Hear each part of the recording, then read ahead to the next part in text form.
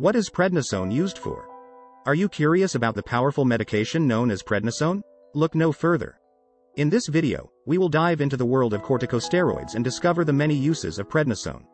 From treating autoimmune diseases and inflammatory skin conditions, to preventing organ rejection and even fighting cancer, the benefits of prednisone are endless.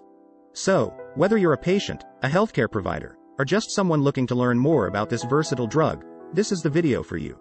So sit back, relax, and get ready to discover the incredible impact of prednisone on our health. Prednisone is a medication that belongs to a class of drugs known as corticosteroids.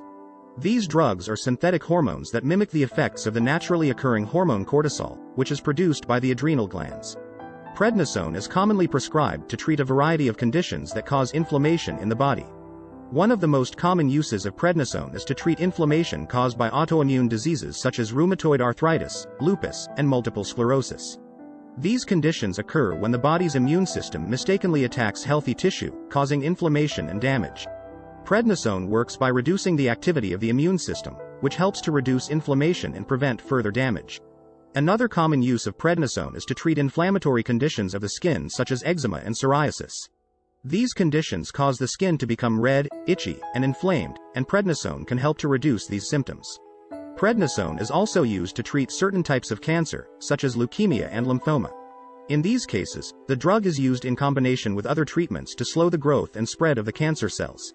In addition to its anti-inflammatory properties, prednisone also has strong immunosuppressive effects, which makes it useful for preventing rejection of transplanted organs.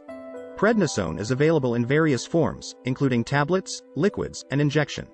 It is usually taken orally once or twice a day, depending on the condition being treated and the severity of the symptoms.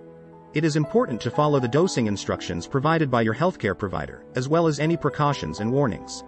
It's important to keep in mind that prednisone can have potential side effects such as weight gain, increased appetite, and changes in mood, among others. It's always important to have a conversation with the doctor about the potential risks and benefits of taking prednisone. In summary, prednisone is a powerful anti-inflammatory and immunosuppressive medication that is used to treat a wide range of conditions. From autoimmune diseases to cancer, prednisone can help to alleviate symptoms and prevent further damage or growth.